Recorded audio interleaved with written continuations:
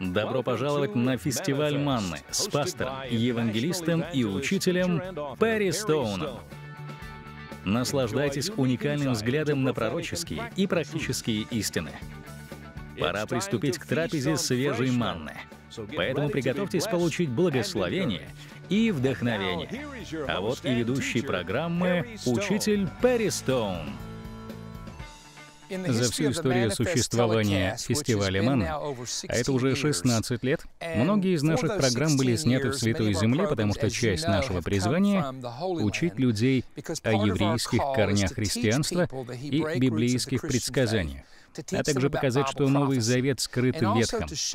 Но сейчас я нахожусь в Иерусалиме на римо-католическом кладбище, которое еще называют латинским, недалеко от горы Сион. Вернее, на склоне горы Сион.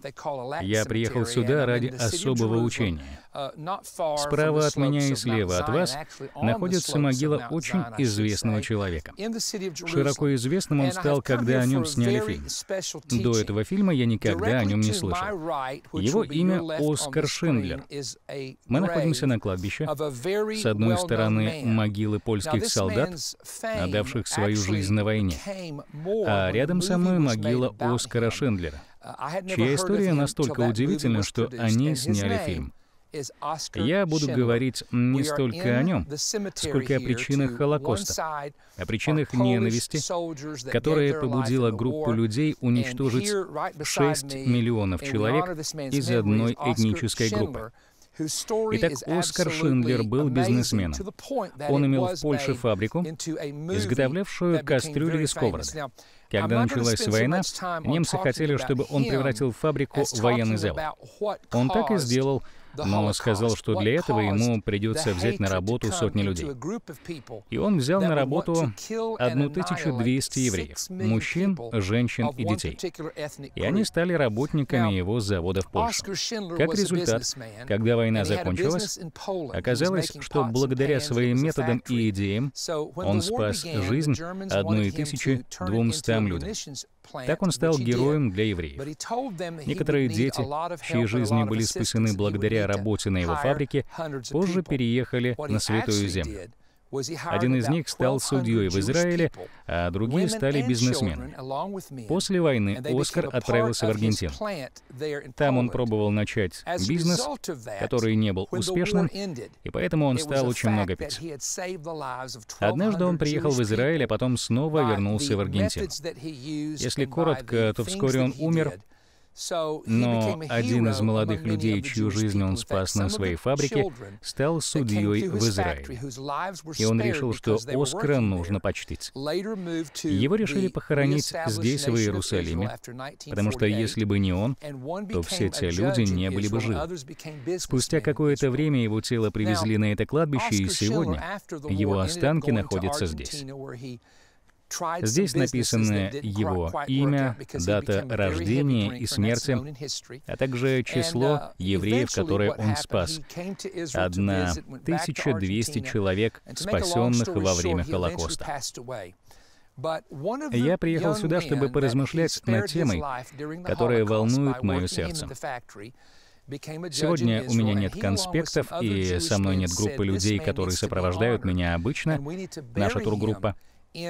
Я думаю об этом многие годы, особенно после того, как я стал приезжать в Иерусалим в конце 80-х. Здесь я познакомился с арабами, христианами, мусульманами, евреями.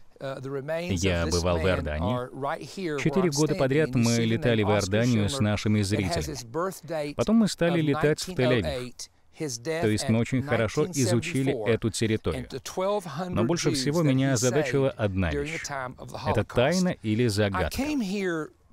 Как ненависть может подняться в людях настолько, что они готовы мучить и убивать 6 миллионов евреев лишь потому, что они евреи? Во Второй мировой войне гибли не только солдаты, но еврейские семьи. Целые семьи, матерей, отцов и детей сажали в поезда. Ими набивали uh, поезда, как скотом. Им приходилось часами стоять. Я читал, что когда им хотелось в туалет, то приходилось ходить прямо под себя, потому что некуда было пойти. Запах был ужасный. По сути, это была вонь. Поездка в этих поездах была ужасной. Но затем их привозили в концлагеря.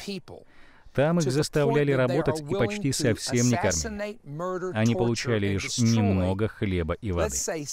Взрослые мужчины через несколько месяцев становились скелетами, с которых свисала кожа. А если у людей были золотые зубы, то им эти зубы вырывали. У евреев забирали все их имущество, Нацисты приходили в их дома и забирали произведения искусства и драгоценности, которые они там находили. Они отбирали эти вещи и складывали в особые хранилища. Одно из таких хранилищ было найдено совсем недавно. Но мне до сих пор непонятно, почему одна группа людей так сильно возненавидела другую. Во-первых, Большинство войн в истории человечества происходили по одной из двух причин. Одна — это территория. То есть война за захват территории, чтобы получить землю или ее ресурсы. Велись войны из-за нефти, из-за бриллиантов и золота на территории Африки, Итак, война за территорию. Посмотрите на Америку. Стыдно признаться, но чероки и другие племена изгнаны с земли федеральным правительством Соединенных Штатов Америки. Из-за этого переселения 4000 индейцев умерли во время зимы. Они переходили из Теннесси в Оклахому и по пути просто погибали. Правительство это не волновало, потому что они хотели заполучить землю американских индейцев. Если в Америке и нужно перед кем-то извиниться, то перед коренным населением, потому что они очень сильно пострадали. Вспомните гражданскую войну, как Южные Штаты могли объединиться, чтобы выйти из состава Соединенных Штатов Америки. Вдруг братья, родственники стали враждовать настолько, что были готовы воевать друг против друга, убивать друг друга из различного оружия, а также брать друг друга в плен. Задайте себе вопрос. Что входит в сердце человека и заставляет его ненавидеть другого настолько, чтобы закрывать в тюрьму, мучить и убивать его. Это настоящая загадка и тайна. Люди многие годы занимаются изучением этого вопроса. И сегодня я хочу рассказать вам, почему, по моему мнению, ненависть пребывает на земле. Я не хочу ничего прощать. Давай вам какой-то простой ответ.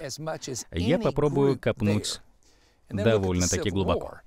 Итак, причина номер один — это греховная природа. Все люди в мире родились от одной женщины по имени Ева. ДНК-исследования показали, что все люди произошли от одной женщины. Это научный факт. Они могли просто прочесть Библию и сэкономить миллионы долларов, узнав, что все мы произошли от Евы, или Хавы, как называют ее здесь, на Святой Земле. Библия говорит, что грех вошел в мир через одного человека и вместе с ним смерть. Получается, что у каждого человека, рожденного на земле, есть греховная природа. Когда человек взрослеет, что-то происходит, и греховная природа начинает брать верх. Хочу показать вам нечто интересное. Если в одну комнату поместить четырехлетнего еврейского мальчика из ортодоксальной еврейской семьи, девочку-мусульманку из Иордании и маленького мальчика из христианской семьи, И если поместить этих четырехлетних детей в комнату с игрушками, то вначале они будут присматриваться друг к другу. Но со временем они начнут сидеть и играть вместе. Если нет языкового барьера, то они даже будут разговаривать друг с другом. Но если бы я взял этих же детей разного происхождения и отправил их к родителям, а христианка ненавидела евреев, еврейка ненавидела мусульман, а мусульманка ненавидела индусов, если бы родители начали учить детей, что им не стоит общаться с представителями определенной религиозной группы, то так они насаждают семя ненависти в сердце ребенка. Почему в Израиле нет мира? Потому что на Ближнем Востоке есть люди, которые хотят мира, но есть целая группа, которая мечтает об уничтожении Святой Земли, изгнании евреев с их места. Поэтому взрослые люди, пережившие и участвовавшие в войнах разных годов, учат молодое поколение той же ненависти, которая наполняет их сердце. И вот к чему я веду. Одна из причин ненависти — это греховная природа. Когда человек взрослеет, наполняется знанием и пониманием, вполне возможно, что его сердце становится ожесточенным, как нам говорит Библия. Помните, Господь сказал фараону, «Отпусти мой народ». Он говорил это много раз. Но сказано, что Господь ожесточил сердце фараона или допустил ожесточение его сердца. Я не могу объяснить вам причины ожесточенного сердца, но многие доктора и исследователи пришли к выводу, что у сердца есть свой мозг. Не такой мозг, как в голове, но у него есть эмоции, способность хранить знания. Эта информация была опубликована полтора года назад. Помните, Иисус сказал, «От избытка сердца говорят уста». Когда Иисус говорил обо всех грехах, исходящих из сердца, и Иеремия, кстати, тоже говорил, что сердце полно зла и лукавства. Бог всегда знал, что сердце — это не просто орган, перекачивающий кровь в вашем теле. Иисус знал, что в сердце содержатся эмоции, информация и чувства. Если люди не входят в искупительные отношения с Богом через Иисуса Христа, то их сердце остается в том же греховном состоянии. Uh, и чем больше они отворачиваются от Бога и от Его истины, то это похоже на слои луковицы. Чтобы добраться до лука, иногда нужно снять много слоев шелухи. Приходится снимать старые слои, чтобы добраться до хорошего салата или капусты. Возможно, это не совсем удачный пример, но, думаю, вы меня поняли.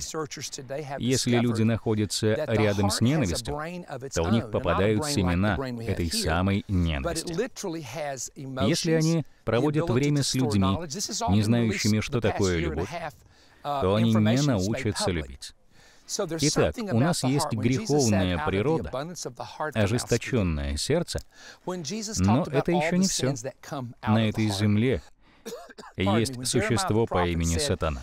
Он назван Богом этого мира и князем, господствующим в воздухе. Из Библии мы знаем, что он — падший ангел, и у него есть свое царство — царство тьмы. Писание говорит нам, что сатана приходит, чтобы украсть, убить и погубить. Сатана — лжец и отец лжи. Я не знаю, сколько есть темных ангелов, сколько начальств, правителей и властей духовного мира. Но я знаю одно. Сатана есть разжигатель ненависти и замешательства. Я уже говорил вам, что многие войны велись за землю. Но еще больше войн ведутся сегодня из-за религии. Вы только подумайте. Первым убийством и первым преступлением за пределами Эдемского сада было убийство Авеля Каином из-за пожертвования. Бог принял жертву Авеля, но не принял жертву Каина, и тот из ненависти убил своего брата. Вы только подумайте. Это был первый грех за пределами Эдема. А первое убийство было на религиозной почве, если можно так сказать. Сегодня мусульмане сражаются с индусами, индусы с мусульманами, радикальные мусульмане сражаются с христианами, убивают и обезглавливают их. И по всему миру мы видим такую религиозную ненависть, ну или в лучшем случае просто нетерпимость. Многие люди говорят, я атеист. А скольких атеистов вы знаете, которые строят больницы для нуждающихся и сиротские приюты, кормят людей? Большинство атеистов в Соединенных Штатах Америки участвуют в левых, политических движениях. Они пытаются изменить культуру и повлиять на консервативные права и законы в стране. Вы видите все эти протесты, сжигания, выступления по стране, и за ними стоит человек, чье имя я не хочу называть. Я разговаривал с евреями в Израиле, и они рассказывали мне, что этот же человек стоит за многими левыми движениями и негативом в их стране. Он еврей, но при этом не любит свой народ. Это рассказывали мне люди в Израиле. И я хочу сказать, что я понял, есть единственный способ разобраться с ненавистью одного человека к другому. Способ этот таков — через изменение сердца. Нужна пересадка духовного сердца и изменение мышления. Это возможно только благодаря отношениям завета с Иисусом Христом. Скажу еще кое-что. Когда у вас истинные отношения с Иисусом, то вы просто не можете ненавидеть другого человека. А если вы знаете Слово Божие, то могут быть грехи, которые особенно отвратительны для вас. Вы можете думать, ох, да, это ужасно. Почему правительство принимает такие законы? Почему правительство не защищает детей? Почему оно поддерживает аборты и пролитие невинной крови? Когда вы становитесь верующим, это не означает, что вы одобряете все неправильные действия. Но если Христос действительно живет в вашем сердце, то вы просто не можете ненавидеть брата другого происхождения или другой деноминации. Вы можете быть с ними не согласны, но вы не можете и не должны презирать людей за это. Вы не можете их презирать, потому что они тоже люди, которые созданы по образу и подобию Божьему. Бог так сильно возлюбил этот мир, что отдал Сына Своего Единородного. Иисус сказал, «Если я не люблю моего брата, которого я вижу, то как я могу любить Отца Небесного, которого я не видел?» И у этого человека, Оскара Шиндлера, была какая-то особая любовь и сострадание к еврейскому народу которого ожидали страдания. Зная о приближении войны, зная о написании Гитлером книги «Майн кампф» или «Мое сражение», зная о ненависти Гитлера к евреям, и его заявление о том, что евреи — это проблема Европы, от которой немедленно нужно избавиться, этот человек будто бы заглянул в будущее и поэтому спас этих людей, забрав их к себе на фабрику. Напомню, их было 1200 человек. Скажите, что могло побудить его к этому? Я не знаю его отношений с Богом. Я не знаю об уровне его веры. Но если этот бизнесмен мог иметь сострадание и спасти 1200 человек, которые не были из его народа, или из его религиозной группы, то насколько больше люди, верующие в Мессию, могут любить людей, чтобы приносить им Слово Божие? любить вдов и помогать им, любить сирот и заботиться о них, любить бедных и кормить их. Иисус не сказал, «Они узнают, что вы мои ученики по количеству денег в вашем служении». Он также не сказал, они узнают, что вы мои ученики по зданиям, которые вы строите, или по чудесным собраниям, которые вы проводите. Это то, что важно для нас. Но Иисус сказал, «Они узнают, что вы мои ученики по вашим плодам, то есть по делам, которые вы творите». Этот плод заключается в любви к Богу и в любви к ближнему. Дорогие друзья, если бы все наши знакомые, все зрители нашей программы стали верующими в Мессию и поняли, что Бог любит мир настолько, что заключил с ним искупительный завет, то скажу вам вот что. Весь мир изменился бы за 24 часа. Войны прекратились бы. Люди научились бы уживаться друг с другом. Вместо убийств и перестрелок они сели бы вместе и поработали над своими разногласиями. Ответ для этого мира — это Мессия, Иисус Христос. Это не религия, хотя христианство и называют религией. Это не религия, а взаимоотношения. Если в вашем сердце есть ненависть, то попросите Бога убрать ее. Возможно, вы были ранены и обижены когда-то. Когда людей ранят, они, в свою очередь, ранят других.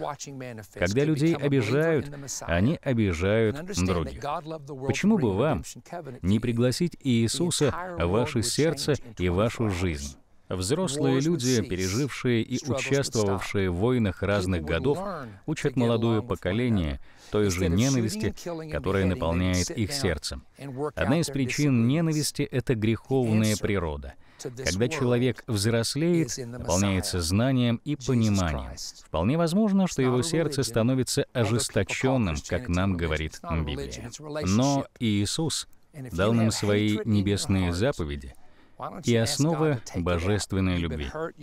Только так вы можете научиться любить людей. А еще только так вы можете попасть на небо. Потому что нет другого имени под небом, которым нам надлежало бы спастись. Так говорит Библия. Я молюсь о том, чтобы вы приняли это слово с прекрасного кладбища на горе Сион, у могилы Оскара Шиндлера. Если бы он мог говорить сегодня, то сказал бы «любите людей». Сегодня мы были с вами на могиле Оскара Шендлера. Оставайтесь с нами, мы скоро к вам вернемся.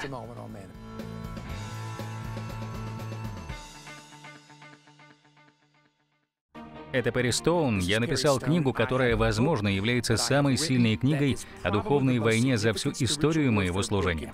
Она называется «Пища для демонов».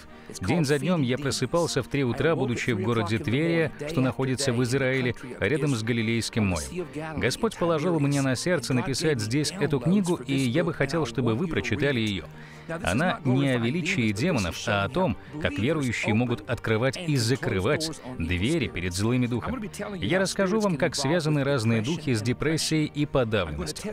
Расскажу, как победить духа немощи, который в переводе с греческого значит «дух слабости». Что насчет постоянной борьбы и бесконечных покаяний в одном грехе? Вы снова говорите Богу, «Я больше так не буду». Но перестать вам не под силу. Возможно ли, что дело в духовном демоническом влиянии? Мой ответ «да». Что насчет детей, которых атакуют различные духи? Дух болезни. Я расскажу вам о том, как изгонять нечистых духов из людей. Расскажу вам о трех уроках, которые я выучил во время своих битв. Моя новая книга состоит из десяти глав. Покупая ее, вы получаете в подарок диск «Музыка ангелов». Ведущий инструмент на этом альбоме — арф. Девять песен помогут вам обновиться и расслабиться. Когда ваши силы на исходе, когда ваше сердце не на месте, послушайте эту музыку. Она поднимет ваш дух, потому что в Ветхом Завете именно звуки арфы принесли принесли освобождение царю Саулу.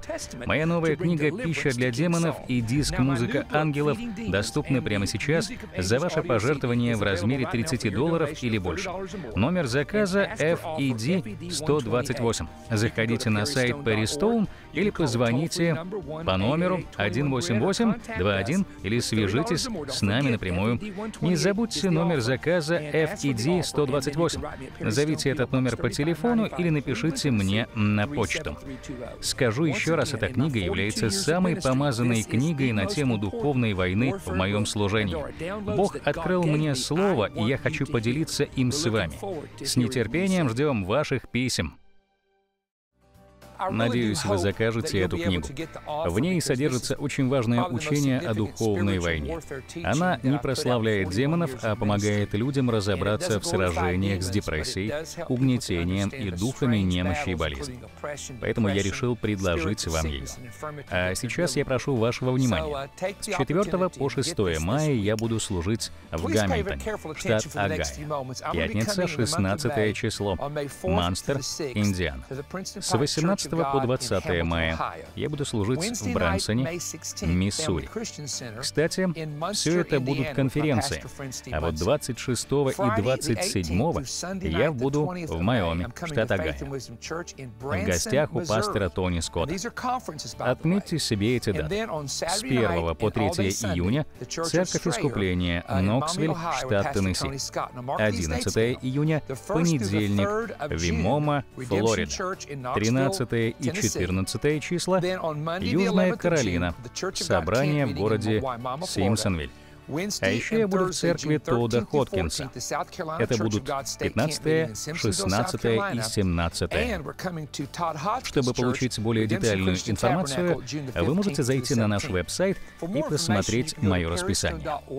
Иногда мы добавляем расписание новое место, но не имеем возможности рассказать об этом на телевидении, потому что запись делается заблаговременно. Хочу рассказать вам вот еще что. Пару недель назад я увидел то, что вселяет в меня надежду об этом поколении. Тысячи молодых людей посетили оба наших Warrior Fest. Сотни приняли спасение — Сотни крестились в Святой Дух. Когда вы видите, как молодой человек, неверующий, скептик или наркоман приезжает на конференцию, а потом получает освобождение, и огонь Божий зажигается в его духе, это ни с чем не сравнить. Если вы принимали в этом участие, то спасибо вам. пусть Господь благословит всех молодых людей, чтобы они верно следовали за Ним. Не позволяйте никому и ничему увести вас от истины. Знайте, что вас ждет сражение за истину. Поэтому будьте на стороне истины. Если вы будете стоять за истину, то Господь всегда будет стоять рядом с вами. Также я хотел бы с радостью сообщить о том, что в нашу библейскую онлайн-школу записалось более тысячи студентов. В ней может учиться любой, у кого есть компьютер. Зайдите на наш сайт, чтобы больше узнать об этом. Я хочу, чтобы вы вместе с моей семьей попали на празднование моего 60-летия, которое будет проходить на море на новейшем норвежском круизном судне. Это будет круиз по Аляске, который продлится с 23 по 30 июня 2019 года. За всей подробной информацией обращайтесь на сайт Paris Посмотрите, куда мы поплывем. Забронируйте билеты на наш круиз, чтобы попасть на все собрания, на которых я буду проповедовать в этих краях. Вы познакомитесь лично со мной и Пэм.